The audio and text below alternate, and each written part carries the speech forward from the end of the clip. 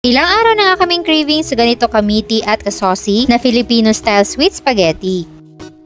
Kaya for today's video, tara at samahan niyo ako magluto nito. Magpapakulo lang muna tayo dyan ng tubig at lalagyan natin ng asin. Then, lagay natin yung ating 400 grams ng spaghetti pasta. Papakuluan natin to for 8 minutes according to package instructions.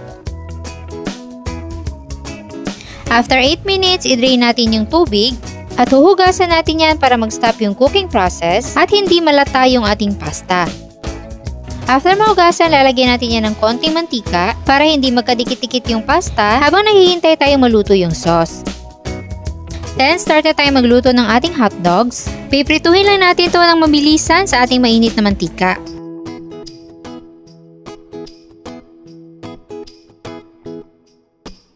Then after a few minutes, pwede na natin yung hanguin. Sa parehong kawali, pwede na natin isunod yung ating ground meat. Pwede kayong gumamit ng beef, pork, or chicken. Antayin lang natin na mag-render at magisa siya sa sariling mantika. Tapos igilid muna natin para makapagisa tayo ng sibuyas. Sunod naman natin yung bawang.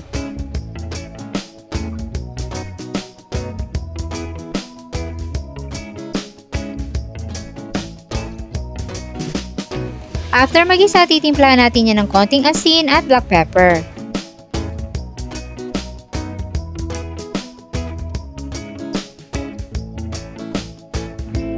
Then, pwede na natin ilagay yung ating 1 kilo na sweet style spaghetti sauce. 1 kilo yung nilagay ko para sa 400 grams na pasta para talagang hindi bitin sa sauce.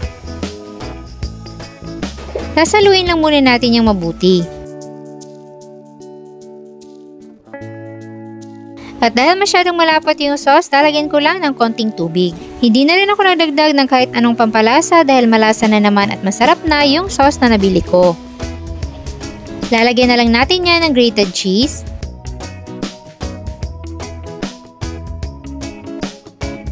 Tsaka pa natin ihalo yung niluto nating hotdogs.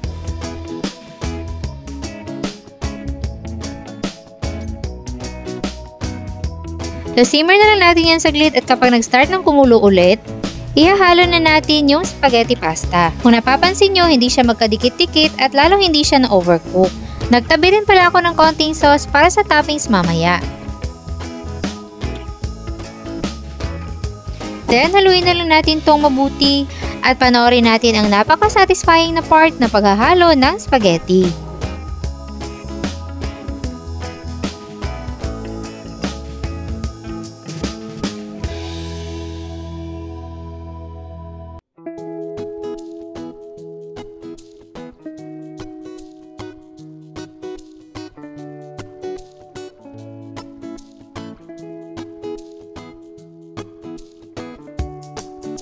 At ayan, ready na ang ating meaty at saucy na Filipino-style sweet spaghetti.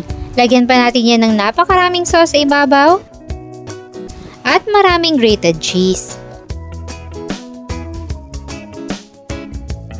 At sino ba naman ang hindi matatakam sa ganitong klaseng spaghetti na paborito nating lahat?